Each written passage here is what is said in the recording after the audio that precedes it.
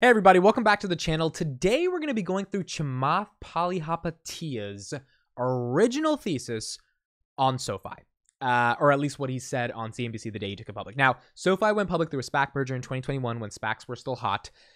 Chamath gets a lot of flack, and I want to just say one thing before everyone in the comments gives him all the flack that they think he deserves. Number one, 2021 was an accelerated moment for stocks uh, that has not been seen for a long time because the Fed pumped a, a bunch of liquidity in the markets. There was a lot of stimulus checks, and interest rates were very, very, very low, or at least lower than they are today. And so, just like anybody who was buying stocks or in the business of taking companies public, like you were going to try to make money when everything seemed like the sky's the limit to be able to make money.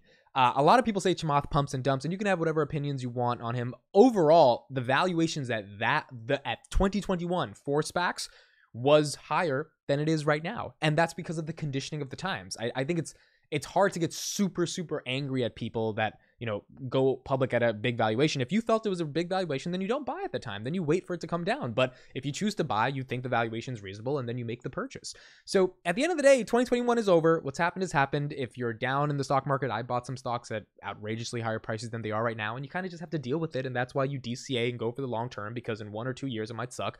But over the course of five seven eight ten years you should hopefully make a return if you pick solid companies. So I think SoFi is a very solid company, regardless of what has happened with the Chamath um, uh, debacle of uh, SPAC going public. And I also don't think it was a pump and dump.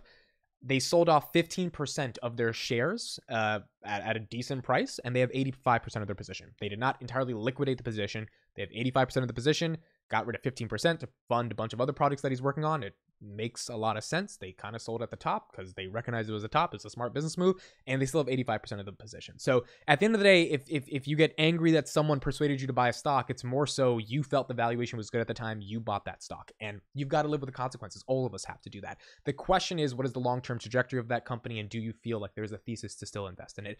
Overall, I think SoFi is incredibly exciting, and it's going to be interesting to see what Chamath originally said when SoFi went public. So let's take a look at this. Chamath Palihapitiya announcing here on halftime his latest special acquisition company will merge with the popular fintech firm SoFi. You know that well. And take that company public. There's Chamath. He joins us now. Congrats. Welcome.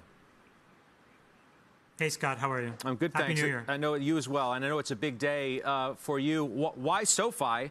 Um, have you been targeting fintech for a while? How did this come together?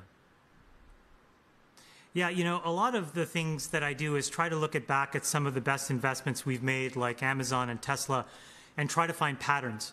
And in this, what I was trying to do was map those patterns into financial services, just because we're at a point in time where it's clear that the banking infrastructure really isn't meeting the needs of US consumers. And so what I did was just kind of systematically try to figure out what was broken in banking, and then try to figure out which company was best representative of the solution that people wanted, which I can basically tell you is three things. People want low to no fees, they want fair and transparent lending, and they want a full suite of products so that you can basically have a one stop shop. Low to no fees, transparent lending, and a, a, a one stop shop that gives you a suite of financial products in one place. Makes a lot of sense. That was kind of the initial thesis from the consumer perspective because SoFi is a consumer basing product. And uh, those are the three things that if you've invested in SoFi, you believe they have the ability to deliver on when it comes to consumers. And SoFi basically was the top of the list when I when I looked across all the companies on those dimensions. We've obviously been following SoFi for a long time. It's been a member of CNBC's Disruptor 50 list, so we're very familiar with it. We're familiar, obviously, with with Anthony Noto. The idea of this disruptive force, Chamath, in banking post financial crisis and what people are looking for, that's a big part of the success of SoFi uh, and certainly of, of your attraction to it. Yeah, in fact, you know, the, the way that I think about this is I call this sort of the anatomy of innovation, right? You look under the hood of the best companies and the best CEOs, they do the following things. The first thing is when you get a good product, you don't sit on your heels. You double down and you invest really aggressively to use technology to drive down the cost. And then what you do is you deliver those savings onto consumers. Then you launch many more products on top of the same platform. And the most important thing you have to do for people is to democratize access to a key resource. That's what Amazon has done. That's what SoFi is doing. Because the problem that banks have right now is after the great financial crisis, what they've done is they make money with hidden fees, with exorbitant fees.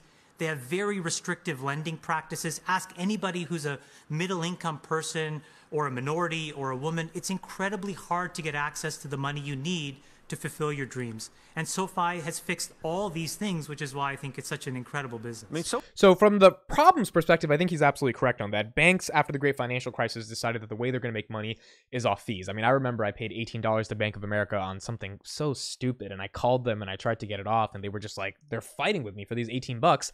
And and and, and the reason they were fighting with me is because they need those 18 bucks. Like they need that fee or 35 for overdraft, whatever it is, because that's how they make their money. And SoFi doesn't make money that way. They don't have these types of hidden fees. There's a lot more transparency when it comes to lending, and you need money, right? When it comes to lending, either you fundraise it from an investor or you get it from the bank. And um, you know, when you have the ability to actually get that from one place that's offering a digitally native way to enter into social finance, right? The way we consume, uh, the way we consume financial transactions and engage in financial transactions as almost as a community from a social perspective, that's incredibly interesting, and I think that's what attracted Chamath as well.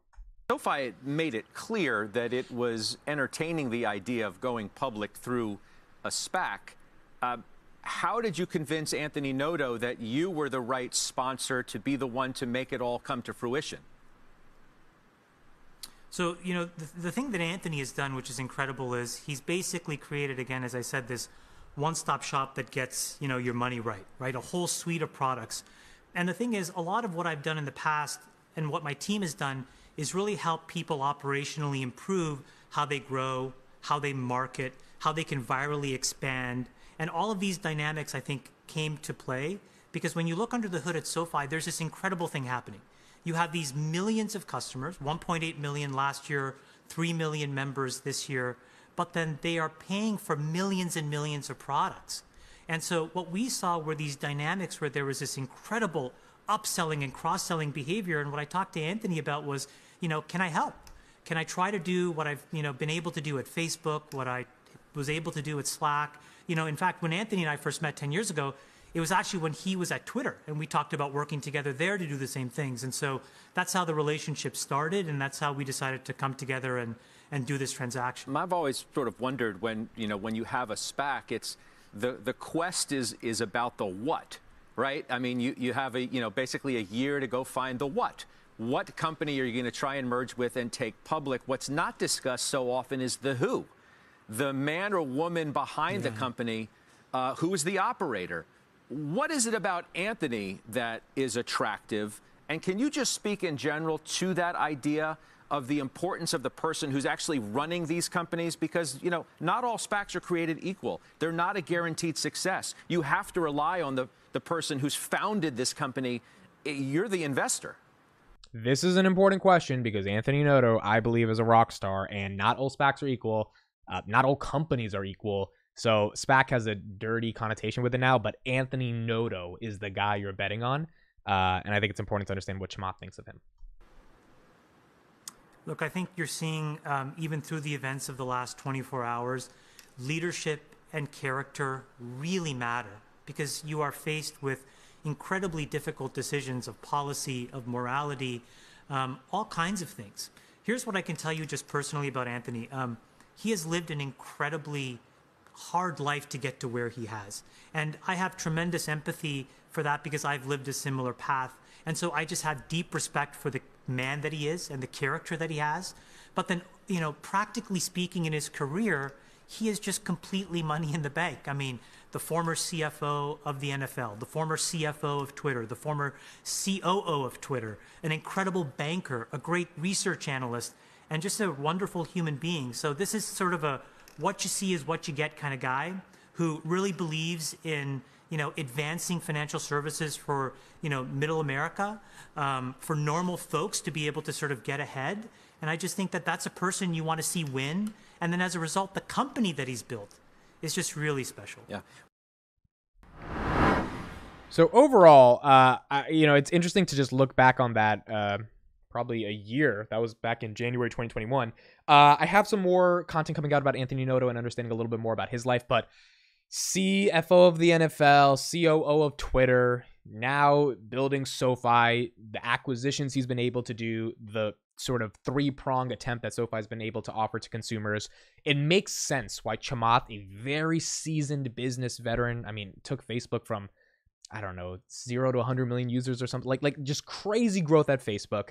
Then started Social Capital, crazy growth at Slack. I mean, people call him pumping up whatever you want to do. The guy knows what he's talking about when it comes to business, and I think Anthony Noto trusting in him and him trusting in Anthony Noto and allowing that thing to actually happen. I know the stock is down significantly since then, but you gotta wonder how those two came together and why those two ultimately did what they had to do. And I'm, I mean, I, I'm going back through the, the, these old pieces of content to understand what the initial thesis was around SoFi from Chamath. I'm actually going to be doing another uh, video looking at his his IPO like one pager around SoFi and going deeper into that and why he picked uh, SoFi from from that perspective. But I think it's just nice to look at you know they went public. Why did they go public? How did they go public? And why did Chamath even want to take them public? And it was nice kind of understanding at least from a personal and professional perspective how he thinks of SoFi. So let me know your thoughts in the comments. I know everyone's gonna crap on Chamath, but at the end of the day, it it is what it is. It got done. And uh, yeah, thank you guys for listening and watching. Let me know what you think about SoFi and Chamath taking them public. See you in the next one.